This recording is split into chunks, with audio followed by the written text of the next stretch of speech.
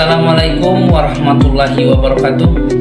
Berjumpa kembali bersama saya Dian Nurlian di channel Literatur Hukum Channel referensi hukum bagi masyarakat Indonesia. Baiklah dalam kesempatan kali ini kita akan membahas uh, bagaimana uh, nama kita dipakai oleh saudara kita, teman kita, sahabat kita uh, untuk mengambil atau membeli barang secara kredit di leasing.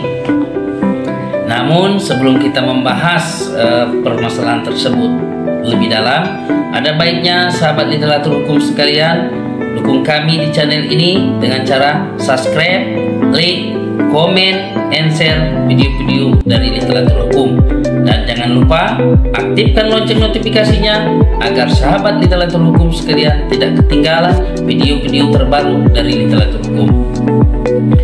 Banyak uh, sahabat-sahabat kita uh, literatur hukum bertanya bagaimana ketika uh, nama kita dicatut atau dipinjam oleh uh, saudara kita, kakak kita, adik kita, uh, mungkin sepupu kita atau teman dekat kita untuk membeli barang secara kredit khususnya mobil motor di leasing. Kemudian setelah berjalan beberapa bulan kemudian terjadilah one prestasi atau cedera janji. Kalau dengan bahasa sederhananya kredit macet atau nunggak sehingga kita uh, leasing mengkonfirmasi ke kita. Terus menanyakan di mana unitnya kepada kita. Mungkin melalui uh, kolektor-kolektornya bahkan mungkin melalui HRD-nya mungkin melalui uh, pengacaranya somasi kepada kita. Sementara unitnya itu bukan berada pada kita, hanya nama kita saja yang dipinjam oleh teman kita atau adik kita. Nah, bagaimana ini solusinya, Pak Dian? Solusi yang seperti ini pertama kali ketika kolektor datang, kita jelaskan bahwa saudara saya yang bernama Sipolan adalah meminjam nama saya untuk mengambil uh, unit mobil carry misalnya untuk usaha uh, mereka jualan pasar ke pasar. Namun pada akhir ini terjadilah uh, penurunan daya beli masyarakat dengan naiknya BBM misalnya dengan situasi moneter yang kurang bagus misalnya sehingga terjadilah uang prestasi atau uh, cedera janji setelah kita jelaskan berulang-ulang kemudian uh, si pihak leasing atau debit kolektornya ini tidak juga mengerti tetap mengancam kepada kita ingin melaporkan kepada polisian kemudian uh, dengan mengatakan bahwa kita telah melakukan penggelapan unit uh, objek jaminan fidusia. Nah, kemudian pertanyaannya di sini apakah bisa ini utang piutang biasanya kan Pak Dian selalu mengatakan bahwa utang piutang itu adalah ranah perdata. Tapi kalau di dalam uh, fidusia ini ketika Anda memindah tangankan uh, tanpa sepengetahuan pihak leasing kemudian terjadi cedera janji sangat ditelusuri bahwa kendaraannya sudah tidak ada lagi tidak bisa ditunjukkan maka itu adalah ranah masuk pasal uh, penggelapan atau pasal fidusia ya pemindahan barang fidusia nah hal ini bisa dipidana. Jadi langkahnya seperti apa? Jadi solusinya kita menjelaskan pihak leasing tapi pihak leasing tidak juga. Kemudian kita datangi atas namanya kita mohon kepada dia untuk dikembalikan barangnya secara baik-baik namun misalnya mereka sudah uh, terjadi uang prestasi 1 sampai 3 bulan 4 bulan uh, kita menyarankan untuk mencari solusi duduk bersama. Biasanya pihak leasing itu tidak mau unit kita, tapi dia mau pembayaran kita, ansuran kita. Kan ada solusi.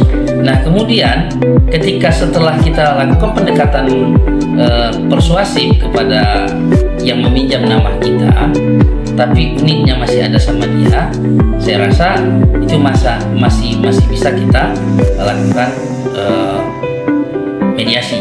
Tapi kadang ada unitnya nih sudah diopor lagi kepada pihak lain Jadi langkah bahkan unitnya itu sudah hilang dari tangan ke tangan ke tangan. Nah, bagaimana ini solusinya, Pak?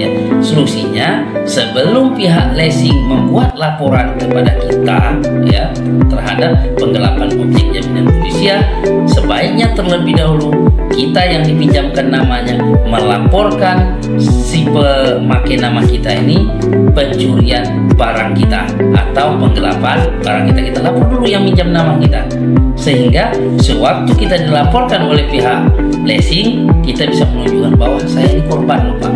Saya dipinjamkan nama tapi dia mengambil unitnya setelah berjalan 3-4 bulan kemudian dipindah tangankan lagi kemudian dipindah tangankan lagi dan lagi-lagi sehingga unitnya hilang.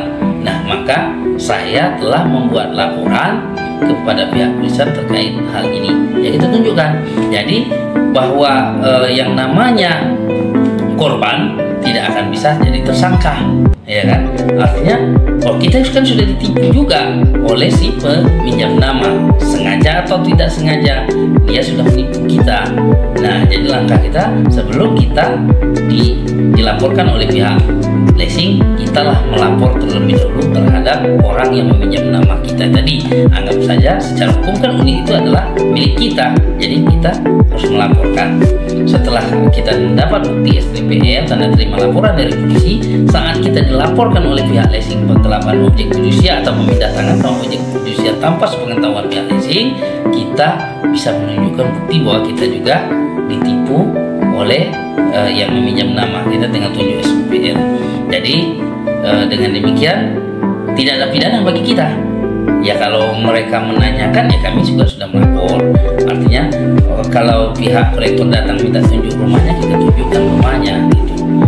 Itulah uh, sahabat literatur hukum sekalian bisa kita review sedikit bahwa apabila orang meminjam nama kita dan kemudian unitnya itu dipindah tangankan dan pindah tangankan pindah tangankan sehingga hilang langkahnya kita melakukan pendekatan persuasif bagaimana caranya. Tapi ketika juga dia tidak maka kita harus membuat laporan polisi terkait penggelapan objek fidusia kendaraan kita oleh tangan pertama yang meminjam nama kita. Setelah mendapat bukti tanda terima laporan tersebut ya mungkin juga diproses. Mereka ditangkap ya kita ceritain aja. Nah bahwa kita juga korban penipuan dari uh, peminjam nama kita tadi. Dengan demikian kita lepas dari jeratan hukum uh, pemindahan objek fidusia tanpa seizin pihak leasing atau menghilangkan objek jaminan fidusia. Itulah uh, sahabat literatur hukum sekalian langkah yang bisa anda lakukan. Akhir kata wabillahi taufiq wal hidayah. Wassalamualaikum warahmatullahi wabarakatuh